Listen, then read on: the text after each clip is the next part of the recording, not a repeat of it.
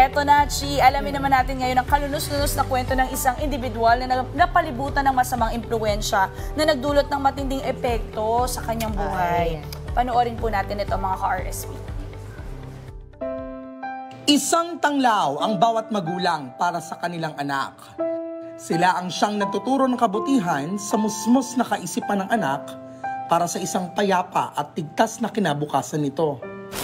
Ngunit paano kung sa murang edad ay iba ang ipinamulat ng iyong mga magulang na kauna-unahan mong inaasahan na magbibigay tanglaw sa pagkakaiba ng tama at mali? 22 taon na si Brandon. Hindi niya tunay na pangalan. Bata pa lamang, napapalibutan na siya ng mga gumagamit ng bawal na gamot. Kung kaya, siya mismo ay saksi kung paano gumamit ng ipinagbabawal na droga ang kanyang mga magulang. Una, ang sa akin lang yun ay parang garilyo. Ito yung usok at nakikita ko din na dalawa sila na gumagamit nun. Tapos, alala ko nun, ah, hanggang ngayon nakatatak sa isipan ko kung ano yung itsura ng sa sa kung paano nila ginagawa yung past session.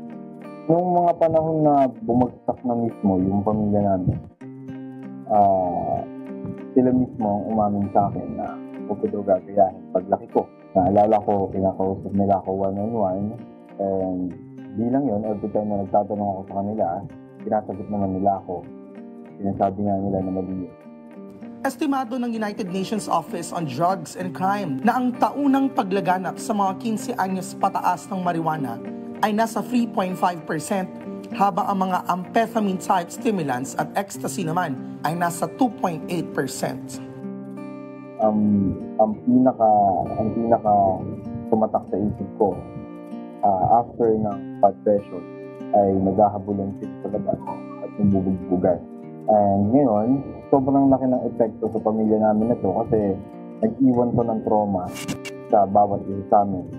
Bukod dito, dalawa kami ng kapatid ko na huminto sa pag-aaral ng dalawang taon dahil dipit na kami sa pera at hindi na namin alam kung ano ang kabukasan namin. Ayon sa isang artikulo mula sa Peace Valley Recovery, maraming epektong adiksyon sa isang pamilya.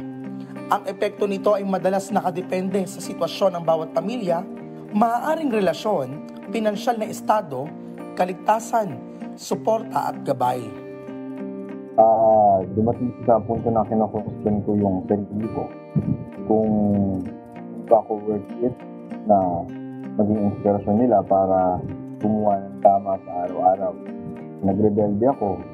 Sa mulang edad, nagtuto akong magdurito ng alak. Bukod dito, ah, naranasan ko na din magnakaw, umakit ng bahay. 2016 nung natigil sila sa paggamit. Panahon ni President Duterte yon and ang halos lahat dito ay takot matukhang. So siguro sila naisip nila na baka matukhang sila, may mga anak pa silang kailangan sila. And ngayon, alam ko naman na nagbago na sila kasi ngayon payapa na kami, tahimik na, hindi ko na sila nakikita ang gumagamit. Patuloy pa rin ang paglaban para sa pagpapatigil sa paggamit ng ipinagbabawal na gamot. Iba't ibang sangay na rin ng gobyerno ang nagtutulungan upang patuloy itong puksain.